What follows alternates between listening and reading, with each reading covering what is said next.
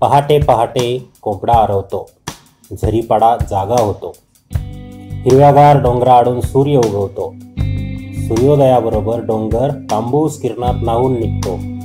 सकाळ होताच लहान मोठी माणसे आपापल्या कामाला लागतात.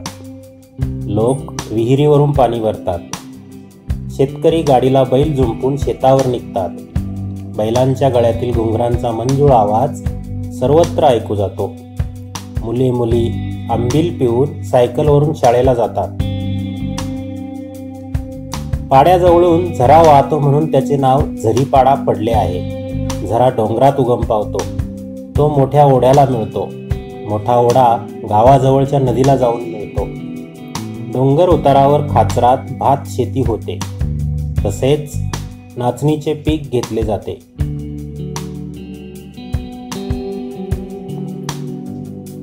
पाड्यावरील घरे छोटी छोटी आहेत. घराचे छप्पर गवताच्या पेंड्यांनी किंवा झावळ्यांनी साकारतात घरातील जमीन अंगण शेणाने सारवतात. भिंतीवर सुंदर सुंदर चित्रे काढलेली असतात. ही वारली चित्रकलेतील असतात.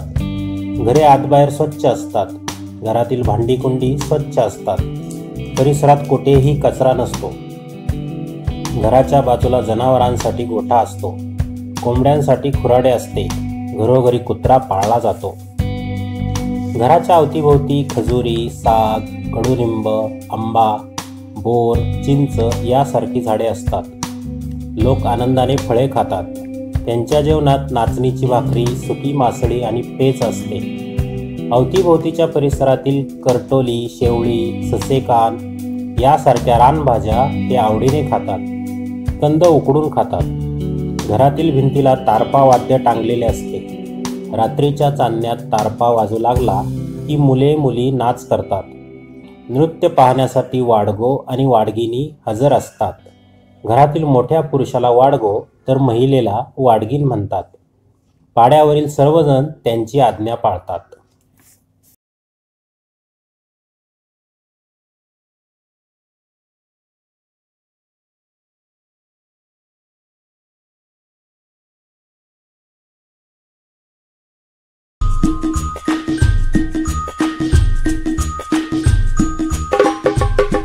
गवताचं पात वाऱ्यावर डोलत डोलताना म्हणत खेळायला चला. गवताचं पात वाऱ्यावर डोलत डोलताना म्हणत खेळायला चला. खेळायला चला खेळायला चला. डोलताना म्हणत खेळायला चला. खेळायला चला खेळायला चला. डोलताना म्हणत खेळायला चला. गवताचं पात वाऱ्यावर डोलत डोलताना म्हणत खेळ